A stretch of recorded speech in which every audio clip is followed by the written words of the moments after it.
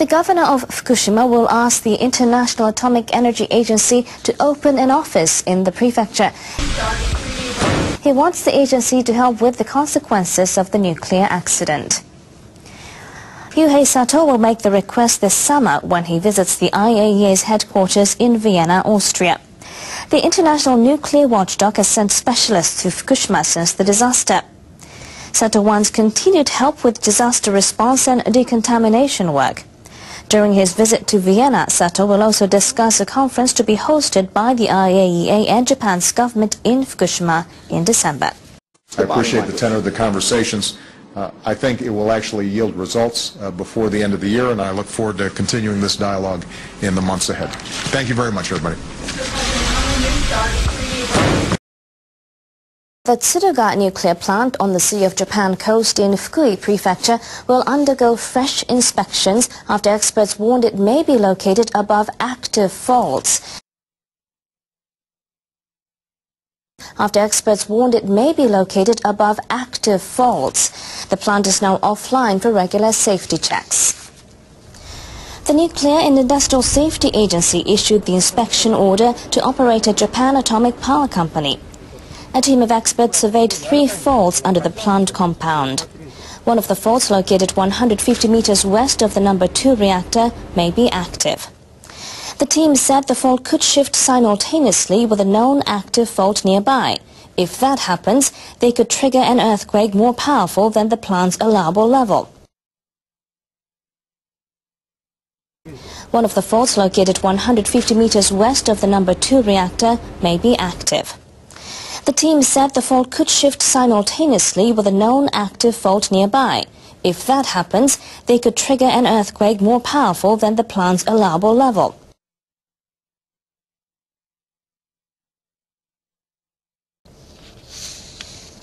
The agency ordered the plant operator to check if the fault running directly below the reactor is active. The government's quake resistance guidelines for nuclear plants do not consider the possibility of active faults. The agency has been examining seismic faults near nuclear plants across Japan following the nuclear accident in Fukushima.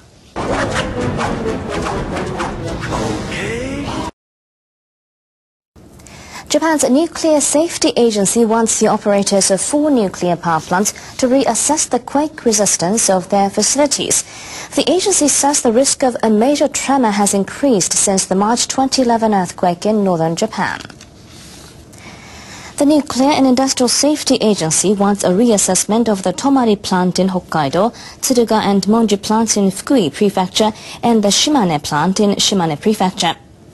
Agency experts say there is now a greater risk of faults more than 5 kilometers apart, shifting simultaneously. They say this would cause an earthquake stronger than current quake-proofing standards.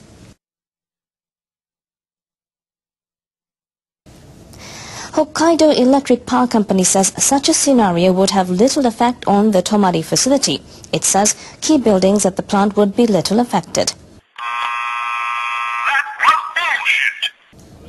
But agency experts say the tremor will be stronger if the two faults shift simultaneously. The utilities have agreed to re-examine the plans. The results could force a revision of quake resistance standards. They're also likely to affect how soon the idled plants can restart.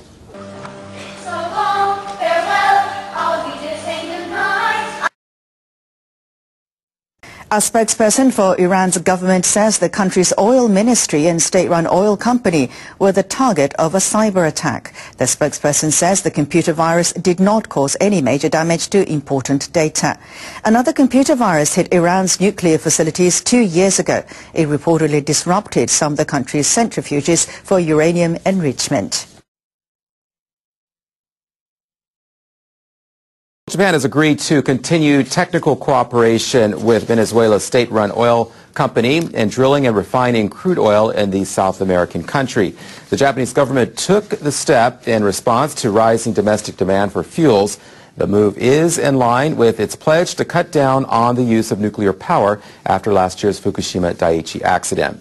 The agreement was reached on Tuesday between Japan's Industry Minister Yukio Edano and visiting Venezuelan Energy Minister Rafael Ramirez. Japan is trying to diversify its oil import sources. The bulk of oil now comes from the Middle East. Following the meeting, Japan Oil, Gas and Metals National Corporation and Venezuela state-run oil company signed a contract to extend the agreement for another three years. Japan wants to increase oil, crude oil supplies from Venezuela, which last year accounted for only about 0.1% of all of its crude imports.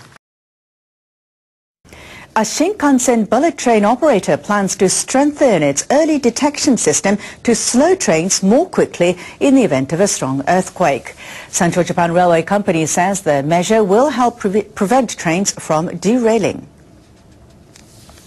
The company says it'll upgrade its system to enable the bullet trains to apply emergency brakes up to two seconds faster. The upgraded system will take into account a possible inland quake just below train lines. It'll enable operators to directly stop the trains earlier. The company's current anti-quake system is mainly designed to respond to powerful quakes offshore. Officials expect the improved network to perform better in the event that a powerful earthquake that strikes far from Shinkansen lines, which could possibly set off other tremors closer to high-speed tracks. Central Japan Railway also plans to upgrade seismometers installed along its tracks. The company says the upgrade will start next month and it will cost about $4.4 million. Japan's finance minister and the head of the Organization of Economic Cooperation and Development have agreed that Japan needs to reduce its fiscal deficit. Japan's fiscal situation is the worst among the industrialized countries. Finance Minister Jun Azumi and OECD Secretary General Angel Gurria met in Tokyo on Tuesday. Gurria expressed support for Japan's policy of raising the consumption tax from the current 5% to 10% by 2015. He also urged Japan to carry out fiscal reforms to cut its huge public debt. Azumi said the government will raise income and other taxes to finance reconstruction projects for areas hit by last year's earthquake and tsunami. He said raising taxes will enable Japan to implement these projects without issuing debt-covering bonds. Azumi also said the government will use the added revenue to cover ballooning social security costs. The OECD has been urging Japan to keep its midterm goal of paying for all policy-related projects without relying on debt.